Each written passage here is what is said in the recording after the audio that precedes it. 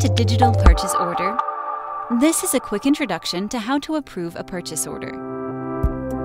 The fastest way to do this is using your personal approval list.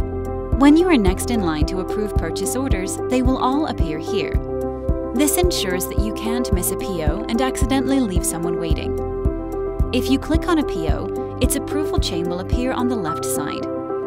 In the middle section, you are able to review who has ordered the PO. If you click on the name, you can send a direct email to that person. On the upper right side, you can find all supplier information. Below, you can see the purchase order items.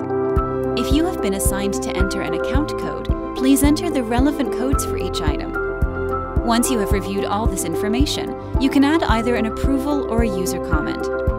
If there are previous comments, you can read them here as well.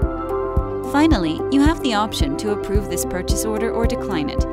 In some cases, you have the additional option to send the PO back to a previous approver. If you need to send a PO back, don't forget to include a comment explaining why.